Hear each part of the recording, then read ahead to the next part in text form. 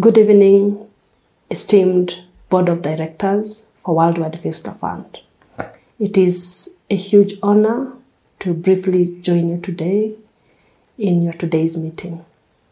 I'm called Sarah Omega. I am the founder and the executive director of Let's End Fistula Initiative.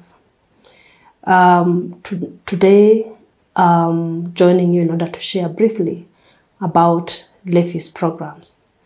And uh, I'll be focusing today on our prevention component. Under our prevention component, uh, we have uh, three programs. We have the safe motherhood component, which is mainly carried out by fistula survivors. And we also have Young Champions Fistula Clubs, uh, which we do in partnership with the Ministry of Education uh, through high schools. Uh, we also have adolescent mothers uh, that uh, we are also doing this in partnership with high school, um, high schools, and uh, and other religious groups. And the fourth, and I would say the newest um, uh, project is the community engagement. Today, my focus will be on the safe motherhood component, which we launched in 2019 with the goal of preventing maternal deaths and complications from happening. And through this component, we are addressing the first two delays that happen at the community level that actually uh, uh, lead to maternal deaths and complications such as fistula. That is the delay to seek medical attention, the delay in getting to the facility. And uh, we do this uh, um, uh, through, you know, fistula survivors who are in solidarity groups. We trained uh, fistula survivors in the solidarity groups on uh, prevention messaging.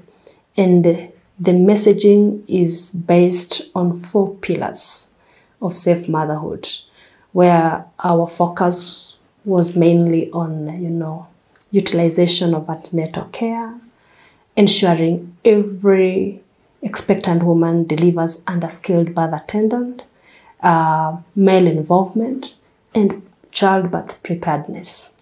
And being women who've already, you know, suffered uh, this childbirth injury, they use their stories, you know, to caution other women in their communities that are um, if you don't do the right thing, you'll find yourself in this space.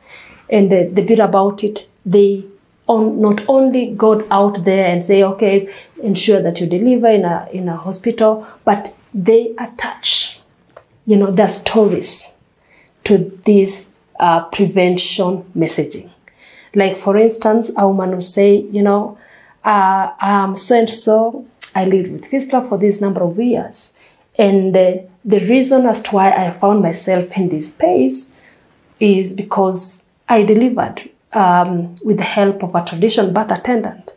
And therefore, I'm urging you, uh, or I'm urging you, my fellow women, ensure when you are, you are, when you are about to deliver, ensure you seek uh, medical attention alongside the prevention uh, messaging.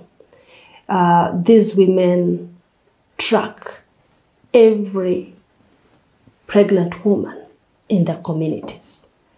And the goal for doing this is to actually do the work with this woman.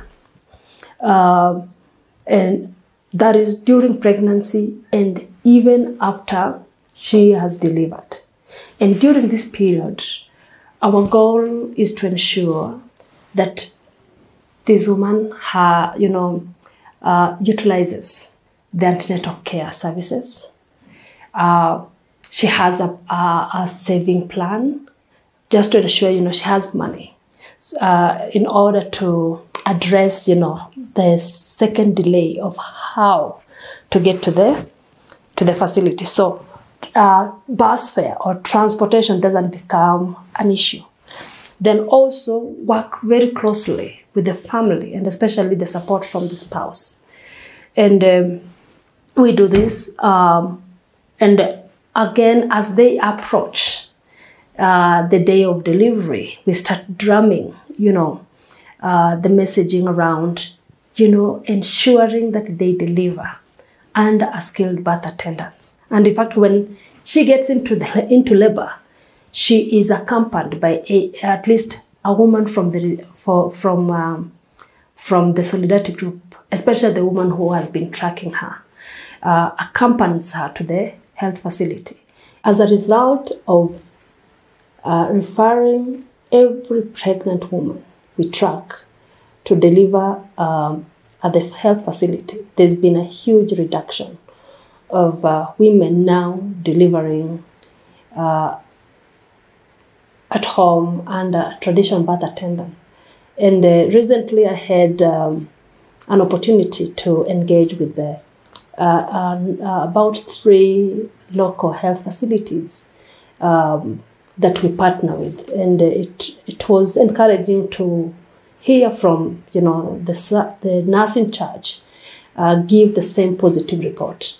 And therefore, uh, um, I'm excited, uh, I'm motivated to continue doing this uh, because it is bringing us close to a place of, uh, you know, childbirth being an event of celebration rather than uh, the source of the many heartache stories we hear. Uh, thank you so much. Uh, and um, I'm forever grateful for the, the support you've, you have accorded us so far and you continue to accord us as, as an, an organization to keep on doing the important work we do. Thank you.